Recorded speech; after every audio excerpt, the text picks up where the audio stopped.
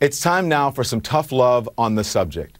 Someone on another network got the chance to go first because I couldn't go during the week. I'm only here on the weekend, so listen to this.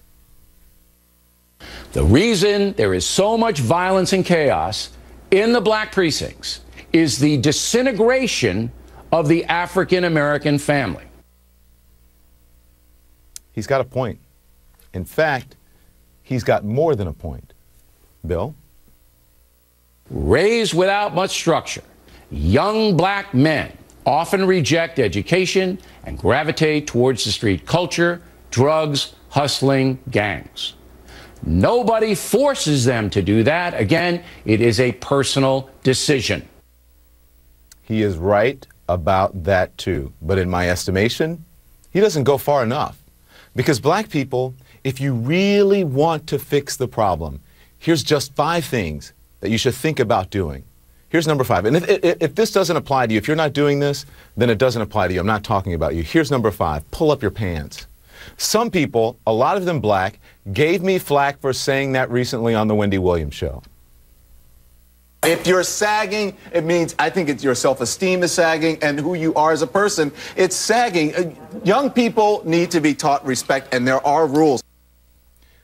Sagging pants, whether it's Justin Bieber or no name Derek around the way, walking around with your ass and your underwear showing is not okay. In fact, it comes from prison when they take away belts from the prisoner so that they can't make a weapon.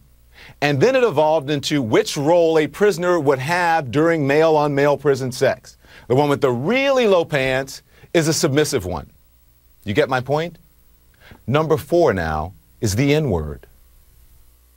For our generation, what we did was we took the word and we took the power out of that word. We took this word and we made it into poetry. I understand poetic license, but consider this. I hosted a special on the N word, suggesting that black people stop using it, and that entertainers stop deluding yourselves or themselves and others that you're somehow taking the word back. By promoting the use of that word when it's not germane to the conversation, have you ever considered that you may just be perpetuating the stereotype the massa intended, acting like a nigger? A lot of African Americans took offense to that too, and I wondered if I gave the right advice. I really did. But confirmation came the very next day on my way home when I exited the subway on 125th Street in Harlem. This little kid in a school uniform, no older than seven years old, he was crying his eyes out as he walked down the sidewalk with his mother. I'm going to be honest here. She turned to him and she said, I'm sick of you. You act like an old ass man. Stop all that crying, nigger. Is that taking the word back? Think about that. Now, number three, respect where you live. Start small by not dropping trash, littering in your own communities. I've lived in several predominantly white neighborhoods in my life. I rarely, if ever, witness people littering. I live in Harlem now. It's an historically black neighborhood. Every single day, I see adults and children dropping their trash on the ground when a garbage can is just feet away. Just being honest here. Number two, finish school. You want to break the cycle of poverty? Stop telling kids they're acting white because they go to school or they speak proper English. A high school dropout makes on average $19,000 a year. A high, a high school graduate makes $28,000 a year. A college graduate makes $51,000 a year. Over the course of a career, a college grad will make nearly a million dollars more than a high school graduate. That's a lot of money. And number one, and probably the most important, just because you can have a baby, it doesn't mean you should, especially without planning for one or getting married first. More than 72% of children in the African American community are born out of wedlock. That means absent fathers.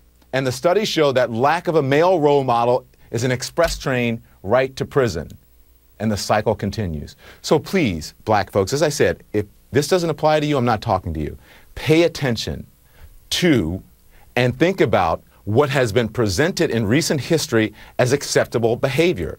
Pay close attention to the hip hop and rap culture that many of you embrace, a culture that glorifies everything I just mentioned thug and reprehensible behavior, a culture that is making a lot of people rich, just not you, and it's not going to. That said, though, the political right is not off the hook. If conservatives are so concerned about black on black crime, it's a little concerning. The only time I hear them talking about it is when they want to stick it to the black community. And that's today's No Talking Points.